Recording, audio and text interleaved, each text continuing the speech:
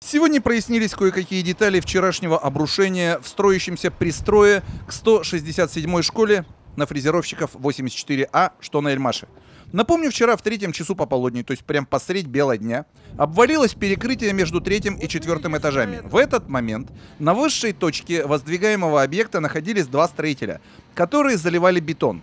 И они настолько удачно обрушились вниз вместе с упавшей конструкцией, что оба не то что не погибли, а даже не поломались, отскочили ушибами без госпитализации. Да это я прямо смотрел, как это все рухнуло, я видел это все. У меня вот балкон, я сидел, телевизор смотрел и смотрел на настройку. Ну, сижу то в телевизор, то туда. Начало сыпаться все это.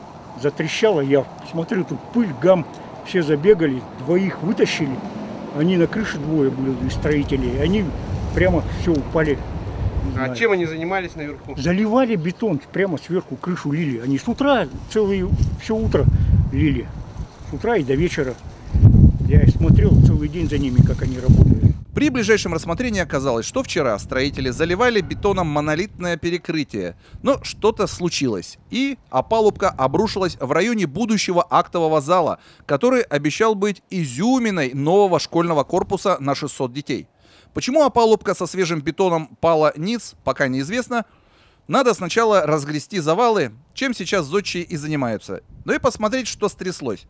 Посетивший полуразрушенную новостройку вице-мэр Екатеринбурга Алексей Бирюлин сообщил, что опалубку поставили в соответствии со всеми ГОСТами, СНИПами и прочими технологическими картами. А, Значит, э, видим то, что видим, произошло обрушение опалубки.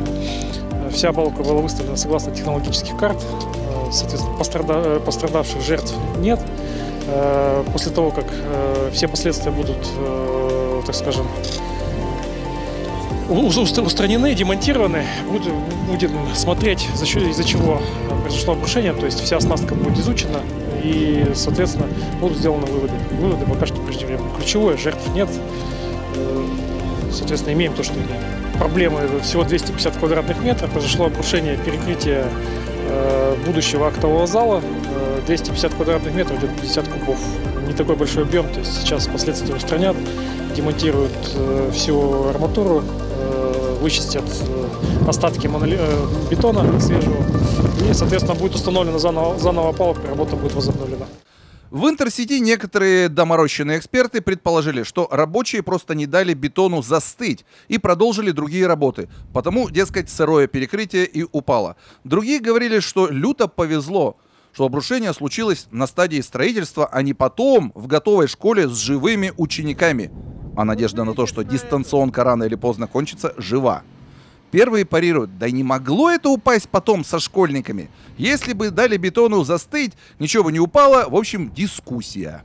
А вице-мэр Бирюлин на пасашок успокоил всех ребят и девчат, наметивших учиться в новом корпусе. Несмотря на разруху, пристрой будет введен в строй в срок. То есть, как обещали строители, в следующем году.